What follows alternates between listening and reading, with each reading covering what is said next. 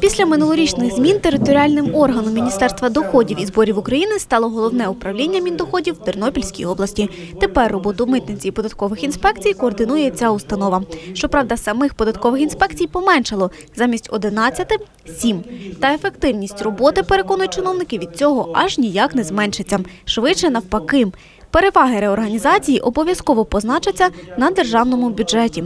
Щороку витрати на роботу двох державних служб митної та податкової обходились Україні в майже 3% від всіх видатків з державної казни, в той час як у сусідній Росії не перевищували 2%. Явні переваги отримає і бізнес. Бізнес отримає наступні переваги. Спрощення процедур отримання адміністративних послуг, підвищення якості е, комплексність податкового та митного сервісу, скорочення кількості часу на обслуговування в державних органах, зниження рівня бюрократизації в державних органах влади, підвищення рівня довіри громадян до представників влади, забезпечення конфіденційності платників податків. Функції Державної митної служби України тепер виконує департамент митної справи міністерства. Замість понад сотні працівників на Тернопільській митниці міндоходів тепер лише сім десятків. Попри це, керівництво звітує про цьогорічні досягнення.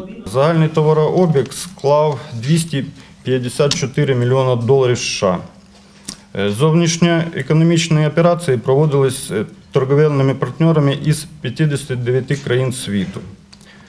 Обсяги оформлення митних вантажів за цей час склали 149 тисяч тонн. Оформлено 8 тисяч 770 митних декларацій. І то, що зазначав Андрій Ігорович, 91% з яких є електронні. Електронних декларацій цьогоріч оформлено в дев'ятеро більше, як за аналогічний період торік. Крім цього, замість відведених на оформлення митної декларації 4 годин, митники в середньому витрачають на кожну 45 хвилин.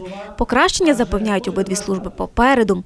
Бо створення Міністерства доходів і зборів має стати зеленим світлом для підприємців, а відтак і для розвитку економіки.